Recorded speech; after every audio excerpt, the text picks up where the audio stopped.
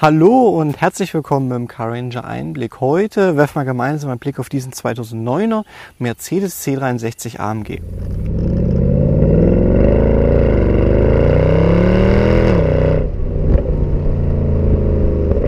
Dieser C63 gehört zur Modellfamilie W204. Ja, und die 204er Modelle, die gab es von 2007 bis 2014. Ja, die Coupés auch bis 2015. Wir haben uns schon mal ein Facelift-Modell als Diesel angeschaut. Deswegen gibt es heute mal ein Vor-Facelift, den 2009er, als C63. Denn wenn schon, denn schon. Und ja, der C63 ist auch schon 2007 auf den Markt gekommen. Und das zeigt schon, wie verbunden da AMG und Mercedes inzwischen war. Und der 204er als AMG. Ist das meistverkaufte AMG-Modell überhaupt gewesen in der Geschichte. Über 40.000 Stück haben die Hallen verlassen. Und das ist für ein AMG tatsächlich jede Menge. Grund genug, dass wir uns mal anschauen, ja, wie viel AMG steckt da wirklich drin, wie viel ist anders als bei einer C-Klasse. Wir werfen halt auch mal einen Blick, ja, was sind die Unterschiede Facelift vor Facelift? Ja, und was kriege ich denn eigentlich für mein Geld, wenn ich mir so ein C63 geholt habe? Und wie immer fangen wir beim Design an. Und ja, natürlich hat der C63 da ein paar Besonderheiten.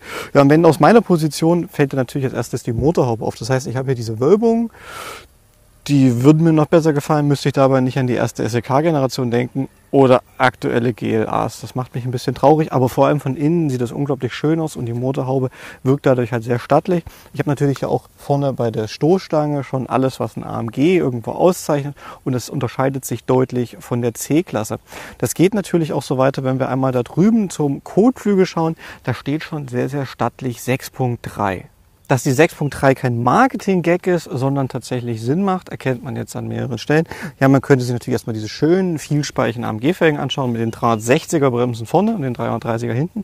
Ich meine aber, wenn man sich mal die Länge der Motorhaube und auch die Länge des gesamten Autos anschaut. Ja, die C-Klasse an sich sieht eigentlich ab hier ziemlich unverändert aus, aber die Proportionen sind ein bisschen anders. Sie wirkt vorne so gestreckt und das täuscht nicht nur, sondern man hat tatsächlich das komplette Auto um 15 cm verlängert. Das heißt, im Gegensatz zur normalen C-Klasse ist so ein 204er als C63 4,73 Meter lang. 1,80 Meter breit das Ganze und in der Höhe, ja, ein Tick flacher als eine normale C-Klasse. Also das ist nicht der große Unterschied. Es ist tatsächlich, ich habe eine andere Fahrzeugfront. Meine komplette Motorhaube, Kotflügel und Co. Alles ist individuell, alles wurde verändert. Und es ist nicht nur diese kleine Wölbung, die ich hier kriege, sondern ich bekomme einen komplett anderen Vorderwagen. Und wenn wir ebenso die Frage gestellt haben, ja, wie viel AMG ist das denn wirklich oder ist das nur ein Mercedes mit ein bisschen Marketing? Hier ist tatsächlich alles anders, wenn man sich genau diesen Bereich da vorne anschaut. An sich, die Farbe Obsidian Schwarz ist natürlich ja, Mercedes Standardkost, die ich bei allen Modellen bekomme, passt aber aus meiner Sicht gut zu dem Auto. In dem Fall mal ohne die getönten Scheiben. Dadurch erkennt man besser, dass er innen hell ist. Eine ja sehr geschmackvolle Kombination. Am Heck fallen mir persönlich ja dann als erstes die Rückleuchten auf. Die Rückleuchten fallen mir deswegen auf, weil ich ein totaler Freak bin und das Auto in dem Fall von oben herab bewerte. Denn wir haben ja an den Seiten so diese kleinen Öffnungen, das finde ich sehr ja, interessant. Bei den Rückleuchten habe ich noch nie vorher so im Detail darauf geachtet. Und wenn man schon mal an der Seite ist und so nach vorne schaut, merkt man, ja, man hat beim Vorfeld auch die deutlich größeren Spiegel mit diesem Blinker oben, der nicht unbedingt so gut angekommen ist bei allen Leuten zu Recht, wobei ich sagen muss, jetzt im Nachhinein finde ich es ganz interessant, weil es nicht so die Mercedes Standardkost ist, denn danach hat man einen Spiegel bekommen, ja, den man bei allen anderen Modellen ganz genauso hat. So, und dann kann man seinen Kofferraum, wenn man denn einen Schlüssel hat, ihn ganz bequem auch mit dem Schlüssel öffnen. Das heißt, ich habe drei Tasten für Öffnen, Schließen und für meinen Kofferraum. So, und dann sehe ich auch schon, dass ich hier einen Kofferraum mit 475 Liter Volumen habe. Ja, 440 Kilo darf ich reinladen und das Ganze steigt nach hinten so ein bisschen an. Ich habe hier meine Hebel, um die Rücksitzbank direkt umzulegen. Ist also genauso praktisch oder unpraktisch wie bei jeder anderen C-Klasse auch. Doch das Thema ja, Pragmatismus kann man hier relativ schnell abhaken, denn spätestens beim Kofferraum oder beim Deckel nach unten klappen merkt man hier diese Spoilerlippe und dann kann man hier nochmal C63 und AMG ziemlich prominent lesen. Und natürlich auch der Diffusor, den man hier unten hat mit vier Endrohren das macht nicht nur ja irgendwo auf dicke Hose, sondern in dem Fall ist das Ganze durchaus angemessen, wenn man bedenkt, dass vorne völlig zu Recht 6.3 an der Seite steht. Deswegen können wir diesen praktischen Teil relativ schnell überspringen. Ja, die Designindizien hier halt ganz eindeutig der Spoiler und die Abgasanlage. Ob es auch auf der Rücksitzbank irgendwas beim C63 Spezielles gibt, ja, das sehen wir uns jetzt mal zusammen an. Bestes Element hier hinten habe ich an sich schon beim Türöffnen und das ist dieses vernähte Leder hier in der Türtafel. Wir haben ja ein Auto mit der Nappa-Lederausstattung, dazu kommen wir dann vorne auch nochmal.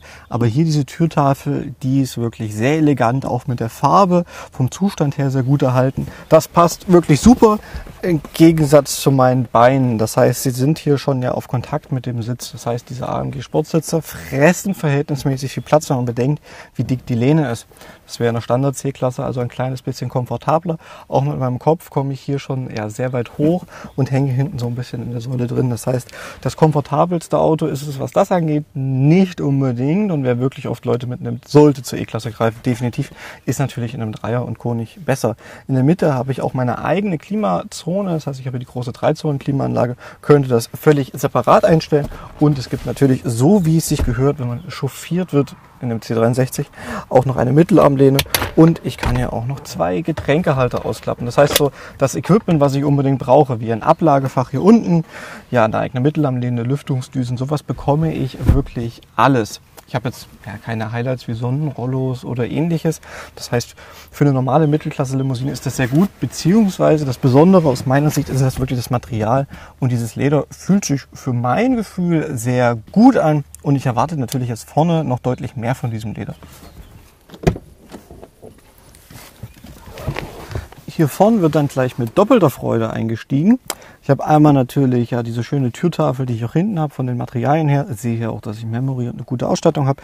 Aber ich habe auch diese AMG Einstiegsleiste, die etliches hermacht. Genauso wie die Sitze, auf denen ich sitze. Ja, ich habe Integralsitze mit integrierten Kopfstützen und hier oben nochmal das AMG-Logo und das Ganze in fein angenehmen Nappa-Leder. Das Nappa-Leder bedeutet nicht nur, dass ich eine Sitzheizung haben werde, sondern auch, dass ich das Memory-Paket das Memory-Paket brauche. Das heißt, das ist zwingend aneinander gekoppelt und macht das Auto eine Ecke teurer. Teurer kann man zum Beispiel auch mit den Harman Kardon Boxen machen, sind nochmal 833 Euro oben drauf. Oder ja gute 1000 für das Schiebedach und ähnliches. Das heißt, hier ist schon ein bisschen Geld reingeflossen. Jetzt würde man denken, okay, ja, aber dann ist hier nicht mal ein Navi, würde man jetzt denken, wenn man nur die Modellpflege kennt. Das heißt, wenn man dann hier aber einmal rumdreht, sieht man, okay, das Display kommt mir einfach in dem Moment entgegen, wenn ich es brauche und vorher habe ich es nicht. Das heißt, ja, das Interieur ist der große Unterschied zwischen den Modellpflege und den Vormodellpflegemodellen. Das heißt, wenn man das mal vergleicht mit der C-Klasse, die wir uns damals angeschaut haben, ja, da war das integriert hier alles mit dem Command und ich hatte auch andere Materialien. Ob man jetzt dieses herausfahrende Display besser gefällt, oder das andere. Ja, ich denke, das ist jedem selbst überlassen. Die Materialien finde ich an vielen Stellen definitiv bei den späteren Modellen besser, als sie hier sind. Ja, in dem Fall gleichen die Sitze sehr viel aus. Sie bieten unglaublich guten Seitenhalt. Ich fühle mich einfach wohl. Ich finde, sie haben auch eine angenehme Weiche, sind nicht zu hart, was man bei manchen Sportsitzen hat. Ja, und in dem Fall gesellt sich halt dieses AMG Performance Lenkrad noch mit dazu, mit dem Alcantara hier, was wohlgemerkt so ungewohnt ist anzufassen. Ja, die Schaltwippen passen auch dazu, zumal es ist hier nicht so billiges Plastik Plastik ist, sondern das fühlt sich schon ziemlich mächtig und wertig an. Ja, bei einem Nicht-AMG würde mir dieses Vogelarm wahrscheinlich besser gefallen als hier, aber es sind tatsächlich so wenig Stellen oder sie sind so unmerklich, dass es gar nicht weiter ins Gewicht fällt. Sitze und Lenkrad machen hier wirklich sehr, sehr viel aus. Ja, hier ist meine Klimasteuerung. Auch das ist sehr gewöhnlich. Da habe ich erstmal nicht den großen Unterschied. Allgemein hier habe ich jetzt keine AMG-Besonderheiten. Hier habe ich dann also den Regler für mein Command-System. Ist natürlich noch ein Tick einfacher als bei den Modellen, die später kommen. Das heißt, ich kann zum Beispiel mein Handy problemlos bei Bluetooth anbinden aber ich kann halt keine Musik damit abspielen. Und ja, auch wenn ich mir jetzt zum Beispiel die Navigationskarte mal anschaue, dann ist das noch nicht so hochklassig, wie es bei den Modellen danach war, ist aber aus meiner Sicht völlig ausreichend und ist auch voll in Ordnung. Genauso auch die Ablesbarkeit von meinen Instrumenten finde ich gut. Was ich hier Besonderes habe, ist einmal unten steht ganz fett AMG und bei meinem Drehzahlmesser steht nochmal 6.3 vor 8. Und das macht eigentlich permanente gute Laune, wenn man mit dem Auto unterwegs ist. Man hat auch noch eine extra Anzeige ja, für die AMG-Modis. Man kann sich hier zum Beispiel jetzt die Öl- und Wassertemperatur mit anzeigen, auch in welchem Gang ich bin und welche Geschwindigkeit ich fahre. Das ist etwas, was ich in der normalen C-Klasse nicht habe. Natürlich mein Wischerheber, mein Tempomat, mein Lichtschalter, all das ist Standard C-Klasse. Da hat sich auch zum Facelift dann nicht so viel verändert, so dass der ein oder andere Hebel ist da ein bisschen anders, aber das ändert jetzt nicht das Große. Ja, an der Haptik, das ist tatsächlich hier das Armaturenbrett, das komplett umgestaltet wurde. Mir persönlich gefällt das modellfähige Modell noch ein Tick besser. Aber das ist dann wahrscheinlich reine Geschmackssache. Wirklich praktisch natürlich, wenn ich ein Spiegelpaket habe mit den abblendenden Spiegeln. Das heißt, in dem Fall ist einfach die Ausstattung schon sehr gehoben für das Auto. In der Mitte habe ich hier noch ein Fach, das klappt in beide Seiten auf. Das heißt aber auch, wenn mit Beifahrer seine Hand hier hat, klappt nur die eine Seite zu mir auf, komme ich also noch an die wichtigsten Dinge ran, auch mein Handschuh. Ja, völlig in Ordnung, kann ich mein Handbuch reinpacken und habe noch den einen oder anderen Platz. Aber auch da erwarten mich jetzt keine großen Überraschungen. Die große Überraschung war halt hier, wie unterschiedlich das Modell ja, sich entwickeln kann im Laufe der Zeit. Wirklich spannend ist jedoch aber eher ja, das, was ich unter der Haube habe, denn von ein bisschen AMG-Logos hier ist der Fahrspaß alleine auch noch nicht da.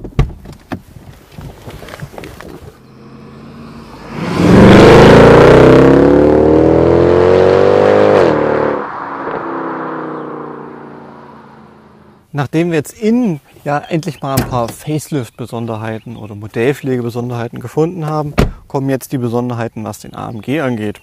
Ja, da hätte ich eigentlich schon hier am Seitenschweller anfangen können vorhin. Denn der Seitenschweller ist nicht für den Standard-Wagenheber der C-Klasse geeignet, den man aber mit dem C63 bekommt. Also nicht mit dem Wagenheber versuchen, den C63 aufzubocken.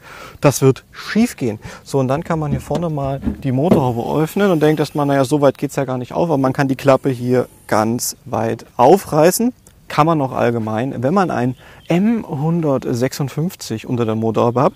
Es gibt für mich nur einen Motor in der größten Kategorie, der besser ist, und das ist der M159 der im SLS. Wir haben hier also 6208 Kubik, die auf uns warten und bringen in dem Fall ja 457 PS. Relativ spät bei 6800 Umdrehungen. Dazu werden mir 600 Newtonmeter garniert bei 5000 Umdrehungen und wiegen soll das gute Stück 1730 Kilo. Nicht. Die getesteten Wagen damals bei verschiedenen Magazinen lagen eigentlich alle bei über 1800 Kilo, wenn man ein bisschen Ausstattung drin hat. Die 1730 wird wohl kaum jemand so wirklich fahren. Die Fahrleistung, ja, glaube ich, da schon deutlich eher. Er regelt bei 250 ab mit dem Package bei 280. Wenn er gar nicht abregelt, hm, das sollte man mal herausfinden. Vielleicht, wenn es dunkel ist. Ja, in viereinhalb Sekunden geht es dann auf 100 und der Verbrauch ist mit 13,4 Liter angegeben die man sich auch genehmigen sollte. Nach oben hin, ja, ist natürlich, was den Verbrauch angeht, hier alles offen. So, und dann gibt es diesen Motor ja auch noch in verschiedenen anderen Ausprägungen, zum Beispiel mit einem Performance Package und 487 PS. Dann denkt man, ach, nur 30 PS mehr, es ist doch garantiert nur Software. Aber nein, denn ich habe dann Schmiedekolben, ich habe Titanpleuel, das heißt der Motor an sich wird drei Kilo leichter, ich habe eine ganz andere Hardware, soll ein bisschen mehr Drehfreude bringen. Da ist also schon einiges anders. Ja, und beim SLS hätte ich dann auch noch Trockensumpfschmierung und Co. Das heißt, da gibt es schon verschiedene Varianten. Der große Vorteil von diesem Motor ist, er ist robust. Ja, in den ersten Jahren gibt es einige, die ein bisschen Öl verbrauchen. Es gibt welche, die Öl verbrauchen, es gibt welche, die kein Öl verbrauchen.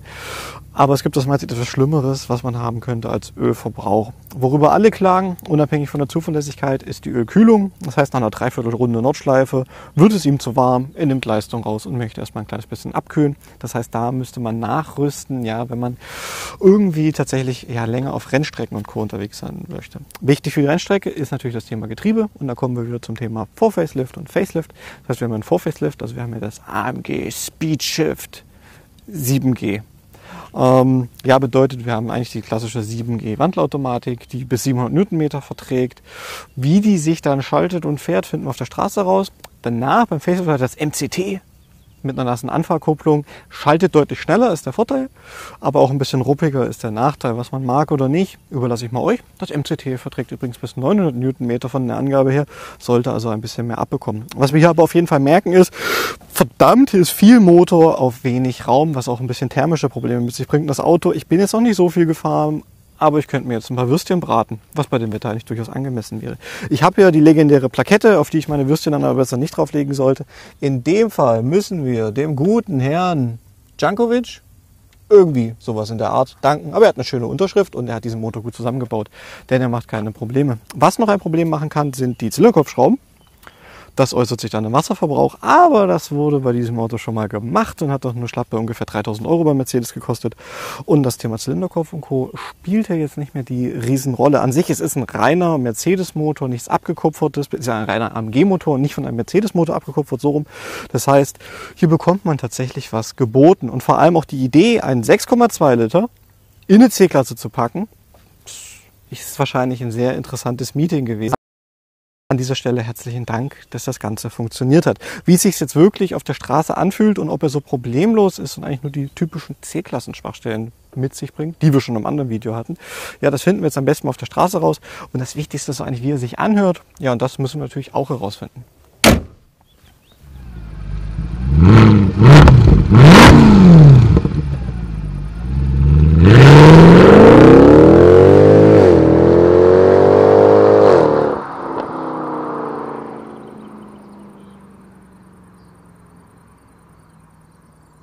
So, hallo jetzt an alle, die keinen Hörsturz haben oder sabbernd auf dem Boden liegen. Aber dann können wir uns das Ganze doch mal von innen und während der Fahrt anschauen.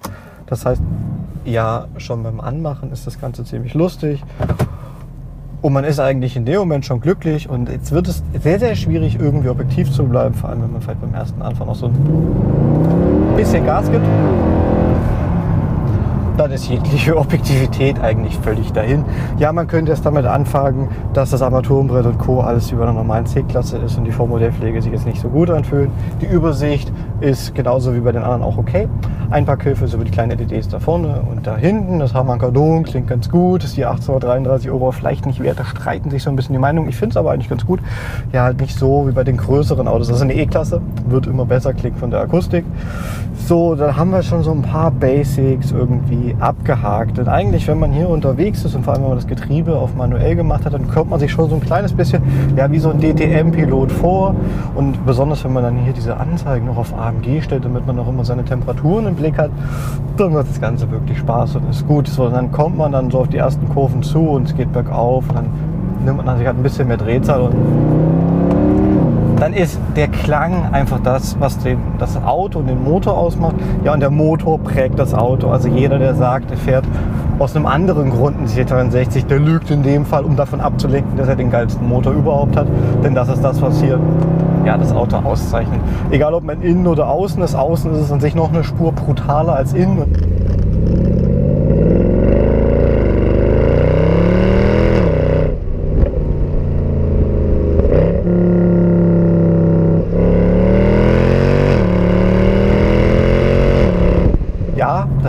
Absolute Serienklang. Und ja, da braucht man auch keine Angst vor einer Polizeikontrolle zu haben. Trotzdem sollte man es innerorts damit nicht übertreiben. wenn man ja mal so eine Gerade hat und denkt, ich kann eigentlich rollen lassen und kann einen höheren Gang wählen, ist es gefühlt, als ob ich gegen eine Wand fahre. Denn das Problem ist halt einfach nur, ja, rollen tut der Wagen überhaupt nicht. Das heißt, die Widerstandskräfte vom Motor sind so hoch, wer hier bremst oder einen hohen Bremsenverschleiß hat, ja, der ist eigentlich selber schuld. Ich kann ja eigentlich sehr vorausschauend fahren. Das heißt, wenn ich hier ein bisschen vom Gas gehe, und runterschalte, dann werde ich einfach so langsam. Das heißt, Bremsen ist hier wirklich unnötig. Ja, das Fahrwerk, es ist für einen Mercedes wirklich hart. Das heißt, ja, man hat versucht, mit den Gewichten gut umzugehen und das Auto sportlich zu kriegen. Und das bedeutet in dem Fall halt eine wirklich sehr, sehr knackig harte Abstimmung. Aber wenn man so ein paar Kurven vor einen hat, dann ist das auch gut, wenn man das Gewicht bedenkt, dass das Auto halt so hart ist. Ich habe dadurch keine Seitenneigung und das sehe ich auch sehr, sehr schön an meiner Motorhaube. Ja, mit diesen Wölbungen. Und wirklich jeder kleine Gasstoß macht einen da halt glücklich. Ja, und wenn man dann runterschaltet, merkt man, ja, ich habe eine Zwischengasfunktion bei meiner ganz normalen Wandlerautomatik. Sie kriegt also einen guten Spagat zwischen extrem komfortabel und sportlich hin. Die Schaltzeiten sind jetzt nicht die allerschnellsten. Wenn man so wie hier allerdings ein bisschen bessere Software aufgespielt hat, dann passt das aus meiner Sicht für den Alltag völlig. Denn wer es richtig krachen lassen möchte, wird sehr schnell jetzt ein Problem mit seiner Öltemperatur bekommen. Und so lassen wir es ein bisschen rollen und lauschen dem Ganzen einfach nur. Ja, die Bremsen sind von der Dimensionierung schon ganz gut. Beim Performance-Paket gab es dann noch eine Ecke größere. Wird halt teuer, wenn man was machen muss. Aber an sich, ja, ich komme ja eigentlich ohne Bremsen den ganzen Berg nach unten. Wenn ich vielleicht mal runterschalte, habe ich halt noch mehr Kraft durch meine Motorbremse Kurven und hier in diesen engen Kurven merkt man halt, ja, ich habe viel Vorderwagen, ich habe viel Gewicht vorne.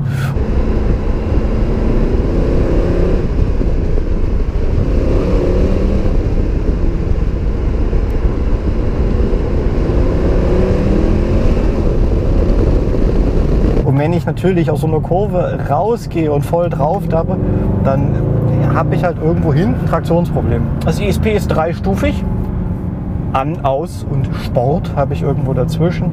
Äh, ich empfehle natürlich eben, das Ganze grundsätzlich anzuhaben. Wer mehr Spaß will, kann es natürlich ausmachen. Aber dann habe ich halt wieder das Thema mit meinen Hinterreifen, die sich sehr schnell verabschieden. So, und dann ist man hier so den Berg auch eigentlich schon wieder nach unten und was halt auch schön ist, wenn man es hier im Display sieht, ich kriege halt sehr, sehr deutlich angezeigt, hey Junge, schalt doch einfach mal. Das heißt, ja, ich kann hier manuell fahren. Dann immer, wenn die Drehzahl nach oben geht, Punktlandung bei Landstraßentempo, wenn man von 2 auf 3 wechselt. Das Ganze macht einfach unglaublich viel Spaß. Eine große Frage, die ich natürlich stelle, ist, was läuft das Ding eigentlich spitze, wenn es nicht abgeriegelt ist? Dafür muss es ein bisschen dunkler werden. Es ist erst um 9. Ja, und dann kann man sich auch den Klang noch ein bisschen genauer anschauen. Das sollte man am Tag in der Zivilisation wahrscheinlich eher selten tun. Die Sitze finde ich sehr, sehr gut. Also da selten was Besseres erlebt. Das einzige Problem ist, ich sitze einen Tick zu hoch. Das heißt, der Sitz, ich bekomme ihn einfach nicht tief genug. So, und wenn ich hier alles auf Komfort stelle, dann kann ich auch ganz gediegen dahin leiten. Das Auto ist aber immer präsent und der Motor möchte immer. Das heißt, ich kann nicht dahin rollen. Er will immer ein bisschen Druck haben und dann verleitet er einen einfach auch schnell zu fahren. Bedienung, wie in jeder anderen C-Klasse auch, völlig in Ordnung. Ich finde mich hier gut zurecht. Es ist ein gutes Alltagsauto. Der Wendekreis ist ein Tick größer, ist aber immer noch völlig im Rahmen. Und ja, ich kann noch einen Kombi nehmen, dann ist das Ganze auch noch praktisch. Er ist halt wirklich hart für Mercedes und er ist wirklich laut für Mercedes.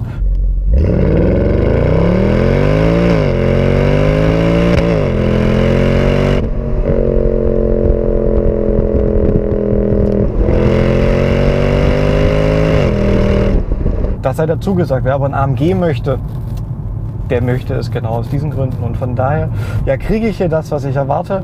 Man hat halt versucht, auch M3 und Co. ein bisschen Paroli zu bieten in Sachen Sportlichkeit. In Hockenheim wurden dann trotzdem mehrere Sekunden abgenommen. Ja, der M3 mit seinem 4 Liter V8 damals war halt einfach leichter und dementsprechend auch schneller auf der Rennstrecke.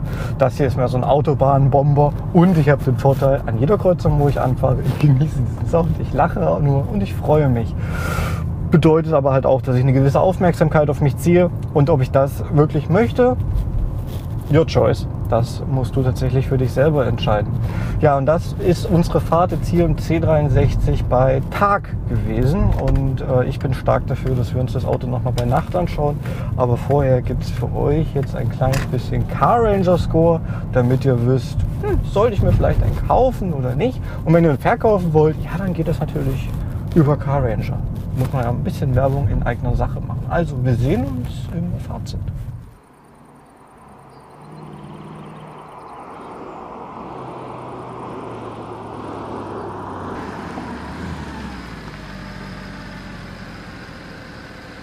Fazit für unseren C63, den wir uns heute angeschaut haben. Es ist 2019. Bitte beeilt euch mit dem Kaufen von so einem Auto. Denn es ist ein 6,2 Liter Mercedes und sowas wird es so schnell oder gar nicht mehr geben. Wir haben etwas wirklich Besonderes vor uns, vor allem wenn man bedenkt, es ist nur eine C-Klasse mit einem 6,2 Liter. Und das Auto wurde vorne um 15 Zentimeter verlängert. Und ich habe Nappa-Leder im Inneren und Alcantara.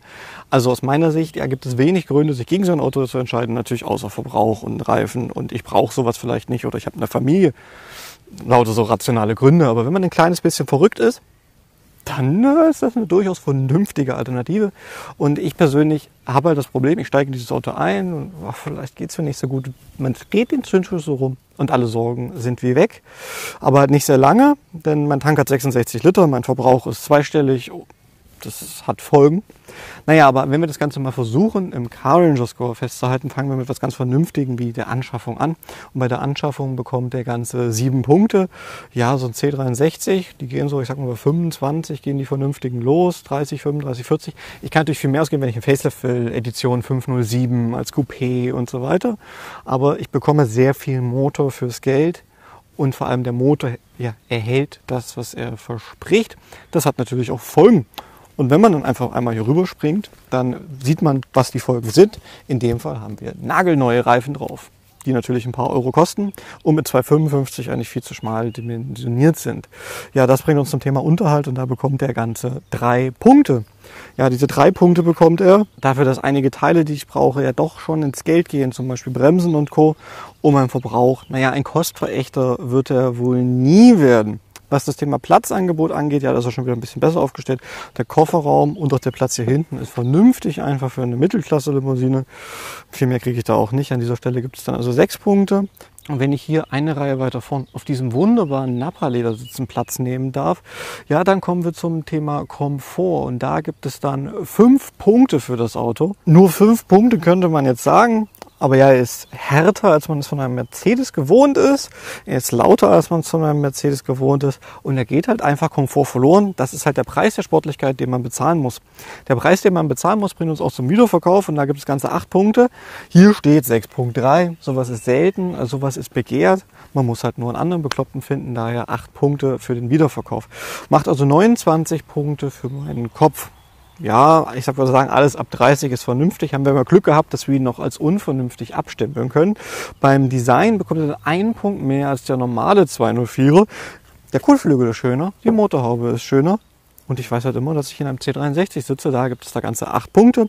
Die acht Punkte gibt es auch beim Fahren. Der Fahrspaß kommt eigentlich rein durch den Motor. Denn das Fahrwerk ja ist ein Tick zu hart, der ist ziemlich kopflastig und muss halt einfach irgendwie mit der Leistung und mit seinem Gewicht klarkommen. Aber der Spaß bleibt dabei trotzdem nicht auf der Strecke. Bei der Ausstattung gibt es dann sieben Punkte. Ich habe alle wichtigen Features von der C-Klasse und kriege halt noch so ein paar AMG-Sachen mit dazu kredenzt. Klang, ich glaube, da brauchen wir keine lange Diskussion haben. 10 von 10. Und spätestens in der Nacht sollte ich mir das nochmal selbst beweisen. Zu guter Letzt bleibt dann das Image. Ich kriege möglichst viel Motor für mein Geld. Das bedeutet, wenn ich jetzt zum Beispiel nach Stuttgart gehe und in Ruhe einen Kaffee trinken möchte, kann ich es nicht, weil 78 C63 AMGs nicht über den zweiten Gang hinauskommen werden. Dadurch ist er ein bisschen verschrien obwohl er eigentlich ja, sehr, sehr viel kann und sehr, sehr viel leistet. Da gibt es beim Image dann nochmal magere sechs Punkte obendrauf. Macht für mein Herz also 39 und ja 68 insgesamt für den C63, den wir uns angeschaut haben. Ja, mich interessiert vor allem, wie findet ihr den Innenraum vor Facelift oder vor Modellpflege zur Nachmodellpflege? Wie steht ihr allgemein so zum C63? Findet ihr ihn ja in dieser Variante gut oder findet ihr den Biturbo, der danach kam, interessanter? Danke fürs Zuschauen. Ja, wie immer kräftig teilen und Co. Wir sehen uns in der nächsten Woche. Euch bis dahin eine gute Fahrt und ciao.